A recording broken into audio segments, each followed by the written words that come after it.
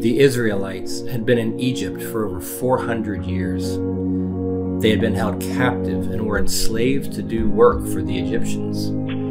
They had all but given up hope that they would ever be rescued. One day, a man from the tribe of Levi married a Levite woman, and the couple gave birth to a baby boy. They hid their baby because the Pharaoh of Egypt had ordered that all male Israelite babies were to be killed.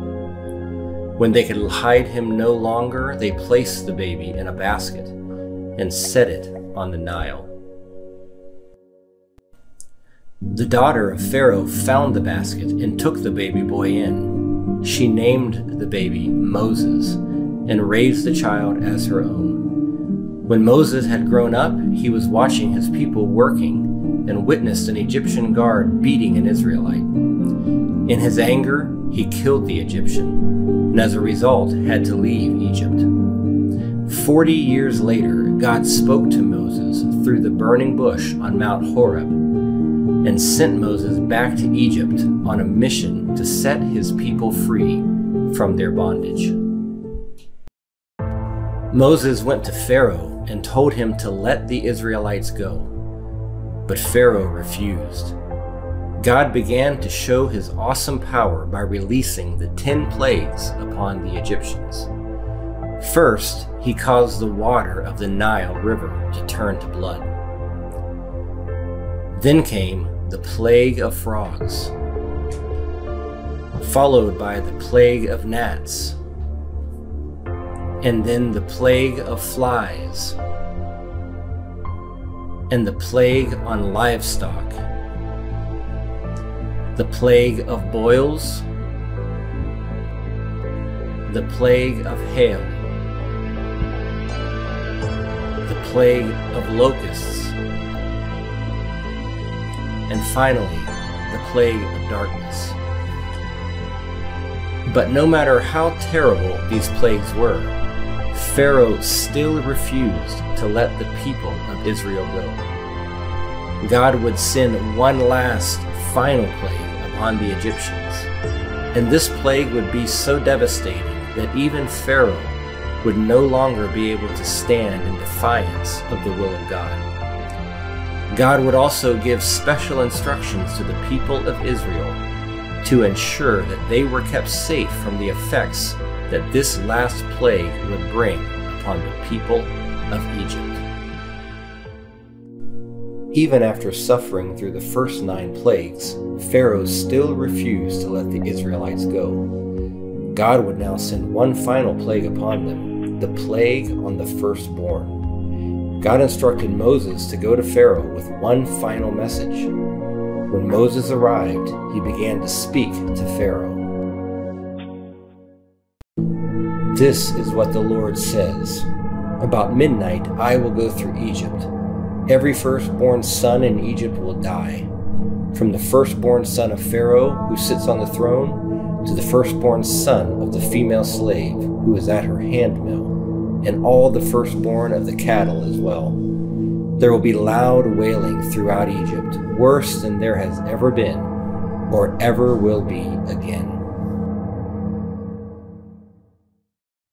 But for Israel, the Lord had a different message.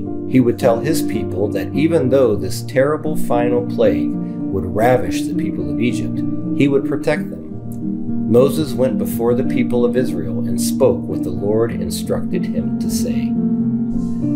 Go at once and select the animals for your families and slaughter the Passover lamb. Take a bunch of hyssop Dip it into the blood in the basin and put some of the blood on the top and on both sides of the doorframe. None of you should go out of the door of your house until morning. When the Lord goes through the land to strike down the Egyptians, he will see the blood on the top and the sides of the doorframe, and will pass over the doorway, and he will not permit the destroyer to enter your houses and strike you down. God also told Israel that this night would be one that they would long remember. The Lord gave them instructions concerning how they were to celebrate this event and pass the memory of it down to each new generation. Obey these instructions as a lasting ordinance for you and your descendants. When you enter the land that the Lord will give you as he promised, observe this ceremony. And when your children ask you, What does this ceremony mean to you? Then tell them, It is the Passover sacrifice to the Lord who passed over the houses of the Israelites in Egypt and spared our homes when he struck down the Egyptians. And so it was that the first Passover came, but it would not be the last time that God made a way where there was no way. Over 1,000 years after this first Passover night, God would once again save his people, and this time he would do it once and for all. Over 1,000 years after the first Passover took place in Egypt, a group of Jews met to celebrate the Passover feast. But this Passover would prove to be a very special one. Jesus, the Son of God, the promised Messiah, had come. He was with his disciples as the Passover celebration drew near. He knew what was about to take place and began to lead his disciples in the way they would need to go. Matthew 26, verses 17 through 30, tells us this. On the first day of the festival of unleavened bread, the disciples came to Jesus and asked, Where do you want us to make preparation for you to eat the Passover? He replied, Go into the city to a certain man and tell him, The teacher says, My appointed time is near. I'm going to celebrate the Passover with my disciples at your house. So the disciples did as Jesus had directed them, and prepared the Passover. When evening came, Jesus was reclining at the table with the twelve, and while they were eating, he said, Truly I tell you, one of you will betray me. They were very sad and began to say to him, one after the other, Surely you don't mean me, Lord. Jesus replied, The one who has dipped his hand into the bowl with me will betray me. The Son of Man will go just as it is written about him. But woe to that man who betrays the Son of Man. It would be better for him if he had not been born.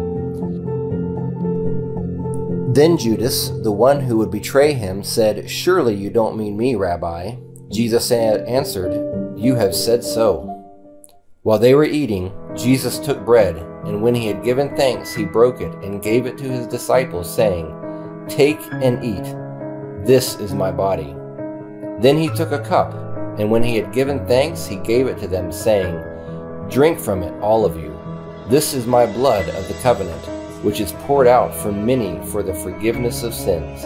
I tell you, I will not drink from this fruit of the vine from now on until that day when I drink it new with you in my Father's kingdom. When they had sung a hymn, they went out to the Mount of Olives. In less than a day, Jesus our Savior would be crucified on a cross. He took our place and paid the penalty for our sin, not because of anything we have done to deserve it, but because He first loved us. Today, as we celebrate the Passover, we not only remember the night when Jesus delivered the nation of Israel from bondage, we also remember that God our Father sent His one and only Son to die for us so that we could be delivered from sin and death and brought into his glorious light.